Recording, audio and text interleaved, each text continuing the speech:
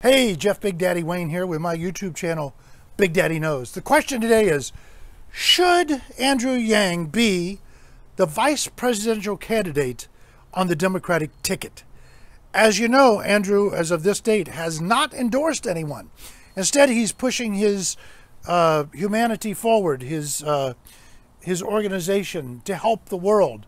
Because he is a man with a big heart. He wants to help. And one of the ways he's helping right now is by not endorsing the two Democratic presidential candidates because he should be the presidential candidate. However, he's smart to hold off and not jump on the bandwagon like everybody else because we just know Joe, Joe Biden, the guy that was behind a lot of shovel ready projects and looks like one, it's a little iffy with him, you know. Bernie, eh, who can talk with Bernie? Bernie's like that guy from Taxi, a crazy old uncle running around, but hey, that's who they chose. So, anyway, let's try to think about this. If he was the vice presidential candidate, he certainly would aid the ticket. Because, you know, the Democrats love to pride themselves with being diversity. We're diverse. Well, how diverse are they? They got rid of all the black candidates, all the Latino candidates.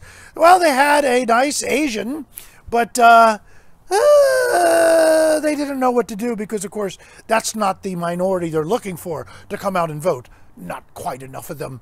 And of course, Asians don't suffer enough. That's the you got to be suffering. They want to help you. We want to help you. We can help you, just like they do the the kids in Chicago. You know, ladies and gentlemen, you're going to ask yourself a question: Why am I endorsing or thinking Andrew should be the vice presidential candidate? Well, I'll tell you why. Now, one of the reasons I think Andrew Yang should be the vice presidential candidate of the Democratic Party is look at Joe Biden. Joe, you know, God bless his heart. It's like dementia set in. I mean, you just listen to him. It's going fast. So if Andrew's there, he's ready to take his place. And also Bernie. You know, Bernie's no spring chicken. And Bernie's already had the heart thing. And when he gets wound up and he starts pounding, ah, it could happen at any minute. So I'd like to have a guy like Andrew in place to become president of the United States, achieving a couple of things. First, it would make America think harder. Second, we would have an unrepresentative minority in the great American diversity in the front row seat, which is needed and wanted.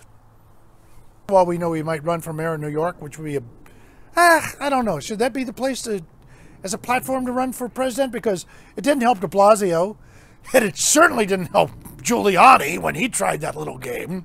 Uh, but maybe it'd give him a platform to 2024.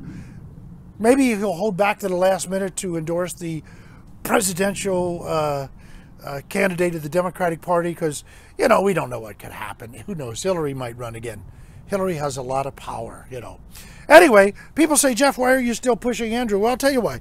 I have all this, this, this campaign stuff.